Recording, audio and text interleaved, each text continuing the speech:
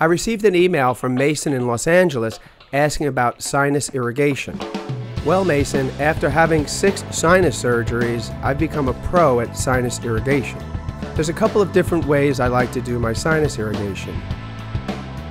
One is I have a saline hypertonic spray that I use in the shower. It's very convenient and it's great for traveling with also. I also do sinus irrigation over the sink using a water pick with a special attachment to it.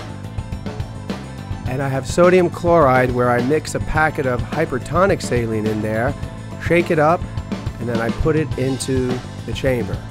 Sinus irrigation is really important for people with cystic fibrosis because you don't want the infections up in your sinuses to go down into your lungs.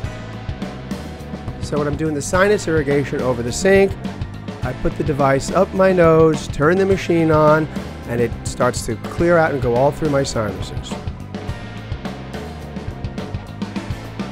A new device that I've been using lately is called the NasaTouch. The great thing about this machine is I can use it for antibiotics and I also use it for my steroids to shrink the swelling in my nose.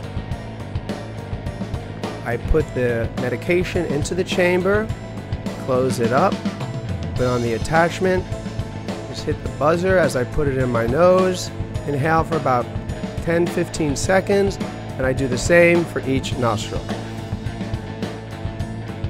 I think it's important to do sinus irrigation on a regular basis.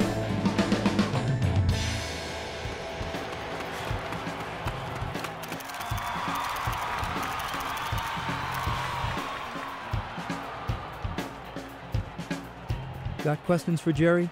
Send them to us. When Jerry answers your question, we'll credit you for it. So get busy and send them in.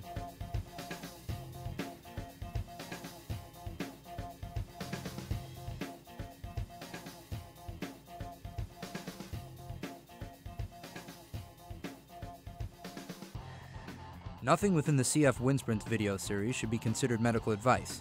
Such advice can only be given by a physician who is experienced with cystic fibrosis. The Boomer Esiason Foundation, Jerry Cahill, and contributors to the CF Windsprint video series cannot be held responsible for any damage which may result from using the information on this video without permission of your medical doctor.